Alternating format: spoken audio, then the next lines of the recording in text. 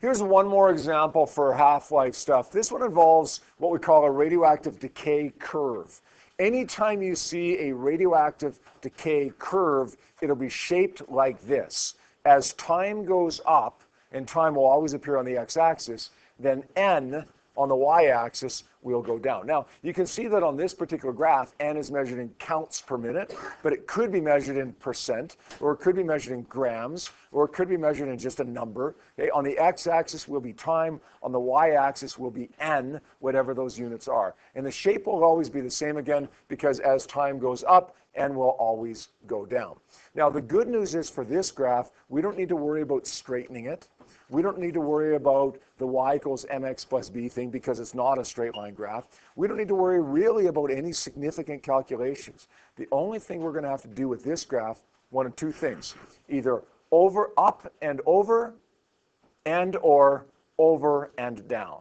Up and over, over and down. In this question, we want to find the decay rate, or in other words, we want to find n, that the radioactive sample would experience after three half-lives. So the first thing I got to do is find out what the half-life is, right? How do I find out what the half-life is here on this graph? How much do I start with? What's the initial amount? What's N0? 80. Okay, so what do I have left after a half-life? 40. 40, all right. So let's go 40 over and down, and we see that the half-life is two days. Does that make sense? We're not done yet, but clearly we're on our way. The half-life going over and down is two days. Now, what would three half-lives be? Three half-lives would be six days. So my time would be six days. What am I going to do now? Up and over. So let's go over to six days, go up and over. And when I do that, it looks like the amount of n, or the value of n after six days, is about 10.